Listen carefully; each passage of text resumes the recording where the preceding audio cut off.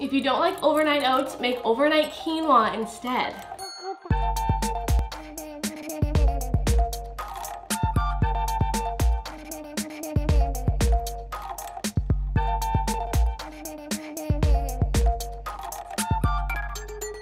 So start by getting yourself a pretty large jar or bowl and we're gonna add in our cooked quinoa. Now I like to make my quinoa the night before or a few hours earlier just so that it has a chance to become a little bit drier. This will help it to absorb more of the liquid that we're gonna add later. Then we're gonna add some hemp hearts and chia seeds. Both of these are packed full of protein and nutrition, plus a little bit of maple syrup for some extra delicious mapley flavor and sweetness, plus some vanilla as well. And then we're gonna add a can of full fat coconut milk.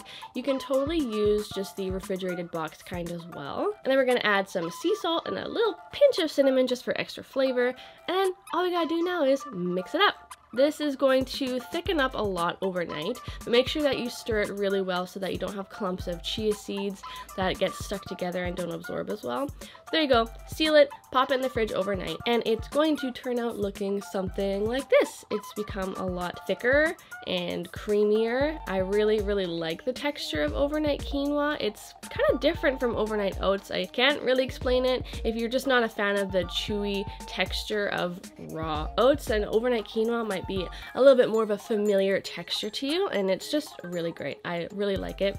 Or on the other hand, if you're just looking for a way to still make overnight oats, if you've run out of oats, you can just use quinoa. This is a great hack slash substitution for making overnight oats when you don't have oats. So moving on, you certainly don't have to be as extra as I am right now by arranging my strawberries in this very fancy way, but I was just feeling a little bit over the top. So here we go. I made my strawberry overnight quinoa look very fancy, but you don't have to do this. And you also certainly don't have to use strawberries if you don't have them. Strawberries just happens to be my favorite combination with coconut overnight quinoa, but this works great with blueberries, with raspberries, any kind of mixed berries, frozen berries. Heck, you can even throw in some banana as well because, you know, strawberry and banana is a totally epic combination. And here you go. This is so beautiful. Isn't this look just so luscious? It is very creamy. It's got delicious thick, creamy texture. This is packed full of protein and nutrition from the quinoa, the hemp seeds, the chia seeds. This is absolutely a filling breakfast. This keeps me full for at least a few hours up until lunchtime,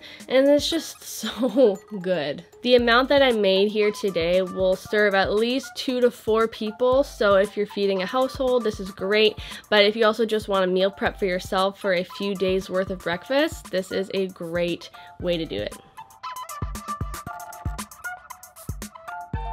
This is so good, you guys. Oh my gosh. Mmm. Strawberries and coconut? Are you kidding me? Mmm.